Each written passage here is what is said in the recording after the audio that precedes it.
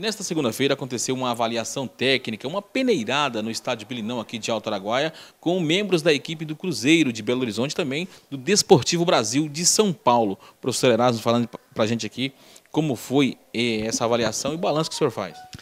É, primeiramente, boa, é, boa tarde a todos que estão nos assistindo.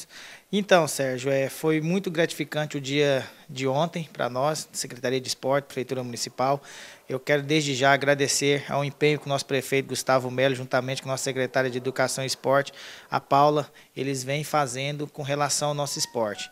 É, como você mesmo frisou, ontem nós tivemos a vinda de dois observadores técnicos, o professor Cícero Gomes, o Tupã, lá que representa as categorias de base do Cruzeiro, Cruzeiro de Minas Gerais, e o professor Ailton. O professor Ailton, ele representa a equipe do Desportivo Brasil, que é uma equipe que os seus donos são, é, são chineses, né? Então é uma equipe que tem uma das melhores estruturas do, do estado de São Paulo para categorias de base.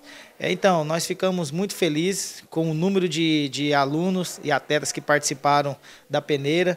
Foram cerca de 257 atletas né, inscritos e que fizeram a avaliação ontem, onde que nós tivemos êxito né, em estar tá, é, revelando dois a três atletas aqui da nossa cidade, né? E juntamente com a, na, na, na, categoria feminina também é, foram observadas e separadas três meninas também, duas aqui de Altaraguaia e uma da cidade de Araguainha. As meninas, na, elas foram foram escolhidas a Larissa, é, aqui de nossa cidade, a Amanda, aqui da nossa cidade, e a Bianca Ribeiro, lá da cidade de Araguainha. Dentre os meninos foram avaliados e passaram na observação o Isaac, o Isaac ele é ali de Santa Rita, filho do, do Genésio, o Felipe Gabriel, filho da Ana Paula, que é aqui do, de Alto Araguaia, da nossa escolinha, e o Cauã, que também que é aqui da nossa cidade, que é do nosso projeto. É, é importante frisar, Sérgio, que a peneira ela não serve para desmotivar as crianças, ela serve para motivar a, a, é, os atletas. É, então, aqueles que não passaram, os professores, antes de realizar o, as, as avaliações, eles explicaram para as crianças como funciona a peneira.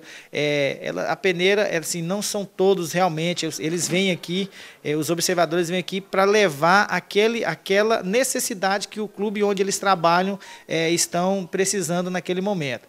Então, assim, aqueles crianças, aqueles alunos que não conseguiram é, serem aprovados nessa primeira, nessa primeira peneira, que que continuem nos treinamentos, que se preparem, se dediquem, porque a oportunidade ela vem, ela fica girando, ela vai passar na sua porta e aquele que tiver mais, mais bem preparado, com certeza vai, vai abraçar essa oportunidade e vai conseguir seguir o seu sonho. Aqueles que não passaram, eu volto a repetir, aqueles que não passaram, vamos começar a frequentar os, os treinamentos, no, lá nos treinamentos acontecerão segunda, quarta e sexta, lá no estádio Bilinão e no mini estádio da Vila Aeroporto. Vamos treinar, porque logo logo, já estaremos no final do ano trazendo mais, um, mais observadores técnicos aqui em nossa cidade para estar repetindo essas avaliações. E a partir de agora, o que vai acontecer com essas crianças? Teremos aí uma segunda etapa?